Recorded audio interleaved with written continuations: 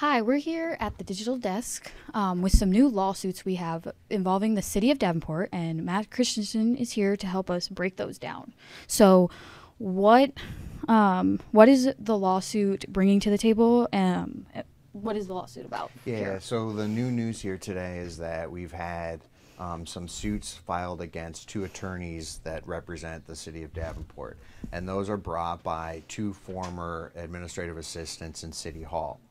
Those folks, uh, those two were let go, um, not let go, but they reached a separation agreement with the city and um, uh, stopped working there. And as part of that, they received a settlement. Now, their settlement got released to the public by accident, according to the city. And now they're saying that that's caused them harm and they're suing the city as a result. Okay, so what does this mean for the city and the two um, former employees suing the city? Yeah, it means a couple of things. The um, the uh, two former employees are asking for, for damages and a jury trial related to um, the city's uh, release of their settlement records.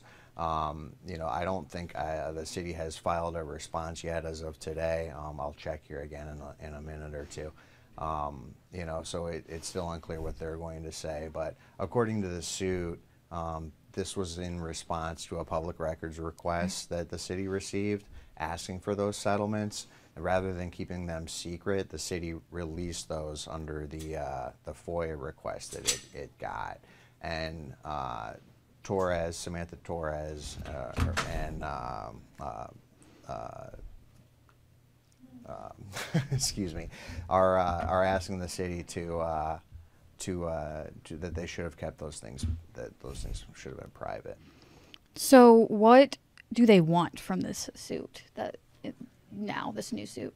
Well, they're asking for damages, saying that they've had emotional pain and suffering, um, and um, medical expenses, and some things like that. Um, you know, it's worth noting that this is certainly related to um, uh, a larger picture going on at City Hall that has to do with another settlement agreement, and that's uh, you know with uh, former City Administrator Corri Spiegel. That that settlement Yeah. agreement was for 1.6 million dollars. The uh, Torres and Thorndike settlements were for much less than that. The city has kept the Spiegel letter uh, private and confidential despite similar FOIA requests, despite a state auditor subpoena, um, and uh, you know, despite requests from the me- the media as well.